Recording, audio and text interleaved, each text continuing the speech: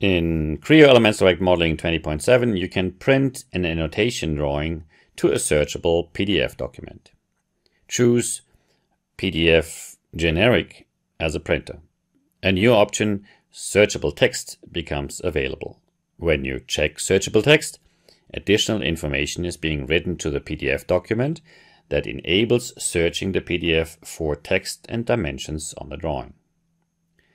When opening the PDF with Adobe Reader, use the built-in search function to search for text or dimensions on the drawing. The reader will then typically highlight the search results on the screen, allowing to quickly identify the information of interest. In addition to the support of searchable PDF export for drawings with regular text and dimensions, there's also support for multilingual drawings.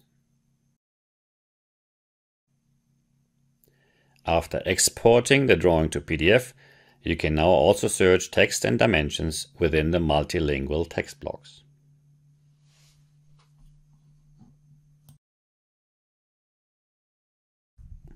With Creo Elements Direct 20.7, inspection and understanding of drawings exported to the PDF format gets easier with the searchable text export capabilities.